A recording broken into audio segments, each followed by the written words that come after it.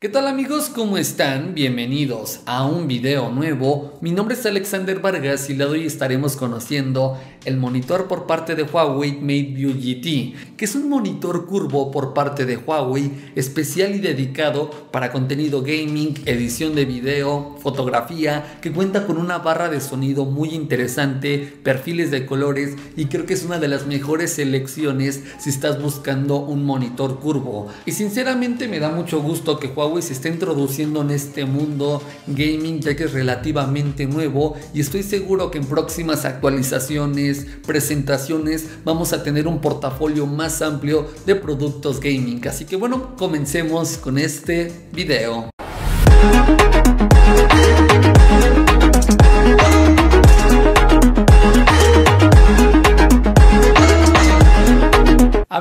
De sus características generales.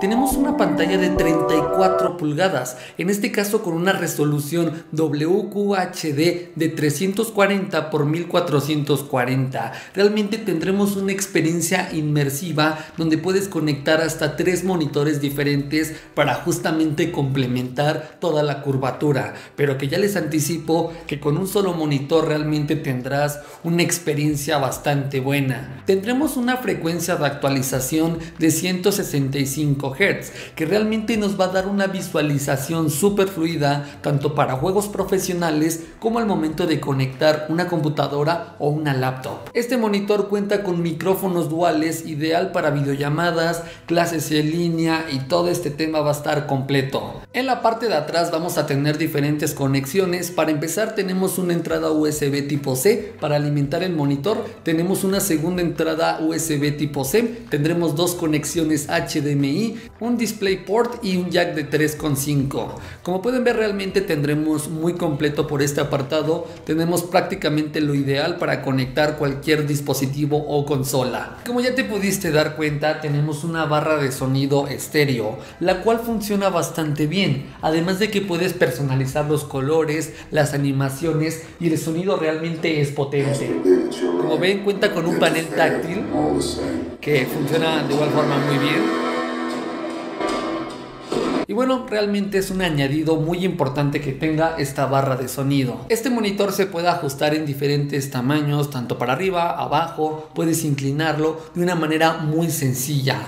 Eh, puedes por ahí bajarlo, este es el nivel eh, más bajo que tiene y puedes subirlo de esta forma. Muy muy sencillo. La curvatura será de 1500R. Creo que una cifra muy entendible, aceptable y que justamente te dé esta experiencia inmersiva que buscamos en un monitor curvo. Hablando del brillo tendremos una configuración de hasta 350 nits. Una verdadera locura. Tendremos un panel muy vibrante con excelentes colores y toda la representación que tiene me parece increíble. Además de que tendremos una certificación certificación TVU Rayland que nos ayudará a proteger nuestros ojos por largas jornadas de uso. Si hablamos de los colores, algo muy importante en temas de monitores, curvos y demás, para corrección de color, este monitor tiene 1070 millones de colores, aparte de que tiene un perfil P3, que es cinematográfico, por lo cual nos garantiza realmente tener excelentes colores para editar cualquier cosa, tal cual los colores se tienen que ver como se deben ver. Además de que sus dimensiones de 21 venos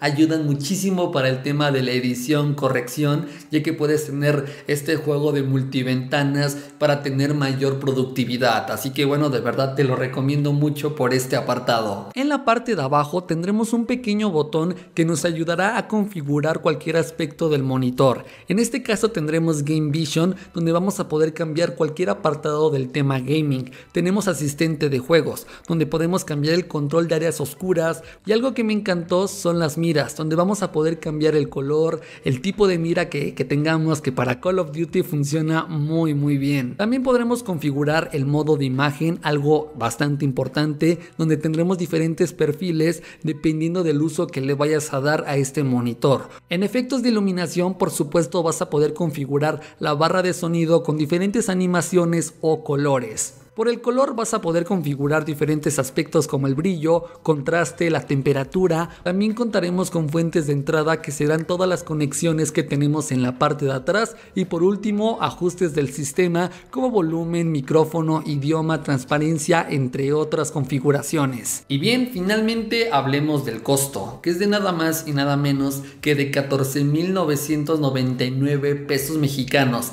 que viene en unos kits super padres con otros productos de Huawei directamente en su tienda. Así que bueno, realmente por el costo se me hace súper bueno, de verdad el tamaño es perfecto, además de que tendremos justamente lo necesario para tener no solamente una experiencia buena en gaming, sino en otros apartados. Y creo que principalmente tenemos eso, un monitor versátil que se puede adaptar a diferentes condiciones, tanto por sus colores, configuración de su barra de sonido, posiciones, tamaños, también la puedes poner en alguna base, o sea, realmente es súper completo este monitor. También me encantó que no necesitaras de algún micrófono externo para realizar partidas, streaming, videollamadas, todo, todo de verdad lo tiene este monitor. Pero bueno, déjame aquí abajo en los comentarios qué opinas, lo comprarías o no, ya lo tienes, todo, todo déjamelo por aquí abajo y también coméntame qué fue lo que más te gustó de este monitor, porque sí, tiene muchísimas características,